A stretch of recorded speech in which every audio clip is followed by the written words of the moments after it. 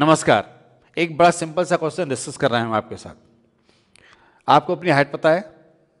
Yes Yes. Sir मैं आपसे पूछता हूँ क्या आप अपने फ्रेंड की हाइट बता सकते हो बिना इंची टैप के? नो सर बिना उसकी हाइट नापे यो फ्रेंड की हाइट नहीं नापनी आपको? लेकिन आपसे पूछा जाए कि फ्रेंड की हाइट बताइए। क्या बता सकते हो? सर अंदाज़ा लगा सकते हैं। अंदाज़ा नहीं लगाना है आपको एग्जैक्ट बतानी है। इसी पर ये क्वेश्चन डिपेंड है। ठीक है ना? ये क्वेश्चन है आपके पास a 50 metre high tower cast is shadow 24 metre at the certain time at the same time a telephone pole cast is shadow 16 metre long find the height of the telephone pole देखिए, यहाँ पर दो बातें हैं। एक tower है आपका। ठीक है? ये टावर की कितना दे रखा है आपको? हाइट जो है, इसकी 15 मीटर है। ये 15 मीटर है यहाँ से तक जब सन यहाँ पर है, ठीक है ना, तब इसकी सैडो किधर क्रिएट होगी? सन यदि साइड में है तो सैडो इधर आएगी तो ये सैडो आएगी इसकी। ठीक है? ये सैडो है और ये टावर है। इसको हम इसे ज्वाइन कर दें तो क्या बना सकते हैं? एक ट्रायंगल बना सकते हैं। और ये सैडो की यहाँ से यहाँ तक की जो लेंथ है, वो कितनी दे रखी है आपको? 24 मीटर। ये 24 गिवन है। यहाँ से यहाँ तक आपको 24 गिवन है। सेम टाइम, ठीक है, उसी समय पर आपके पास एक टेलीफोन है, टेलीफोन पोल है। इस टेलीफोन पोल की जो शेडो है, ये जो शेडो है, वो आपको गिवन है। कितनी गिवन है शेडो सिक्सटीन सॉरी ये सिक्सटीन सेंटीमीटर मीटर गिवन है। ये सिक्सटीन मीटर के बने। तब आपको बताना है कि ये टेलीफोन जो पोल है, इसकी हाइट क्या होगी? आपको ये हाइट एच फाइंड आउट करनी है। आप देख रहे हैं, सेम टाइम सेम टाइम का मतलब है यहाँ पर सन है, सेम टाइम तो यहाँ पर हम एक क्या बना सकते हैं? एक ट्रायंगल बना सकते हैं। एक इंपॉर्टेंट बात यहाँ पर यह समझ लें, एक एग्जैक्ट वन सेम टाइम पर, एग्जैक्ट सेम टाइम पर ये दोनों एंगल क्या होंगे आपस में? इक्वल होंगे। यदि एंगल थीटा है तो ये एंगल भी कितना आएगा? थीटा आएगा। राइट ये 90 डिग्री होगा, और ये भी 90 डिग्री होगा। तब आप इन दोनों ट्रायंगलों को क्या कर सकते हो? सिमिलर प्रूव कर सकते हो। और सिमिलर क्राइटेरियन से आप इसकी हाइट को इजीली बता सकते हो। ठीक है? तो आप इस ट्राइंगल के नाम देते हैं कुछ पहले। मान लेता हूँ ये ए है, ये बी है और ये सी है। ये लिख लें इसको पी ये क्यू और आर ठीक है? Triangle in triangle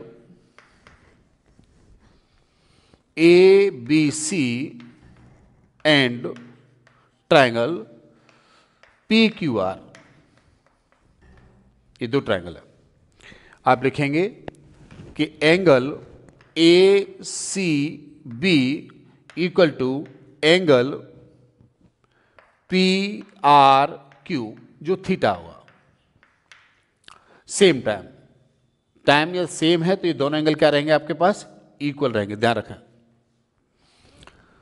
और ये एंगल कितना है? 90 डिग्री है तो आप लिखें कि angle A B C equal to angle P Q R is a 90 degree each ठीक है? Each 90 degree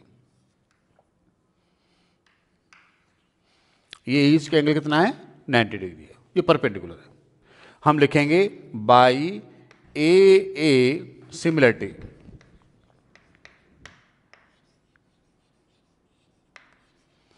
criterion by similar criterion क्या लिखेंगे? कि triangle A C A B C is a similar to triangle P Q R by corresponding part of similar triangle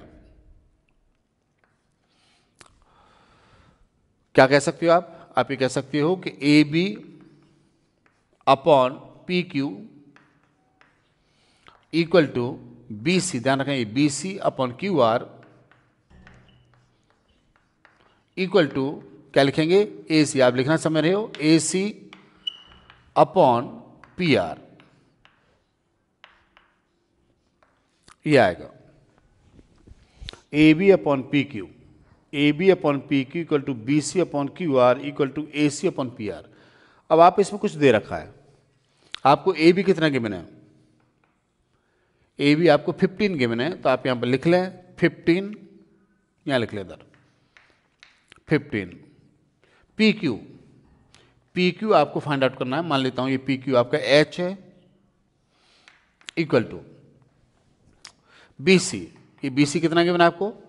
24 given है, और P sorry R Q कितना है 16 given है metre अब आप यहाँ से क्रॉस मल्टीप्लाई करके निकाल सकते हो एच आप लिख सकते हो इसको। H into twenty four equal to fifteen into sixteen तो एच कितना आएगा?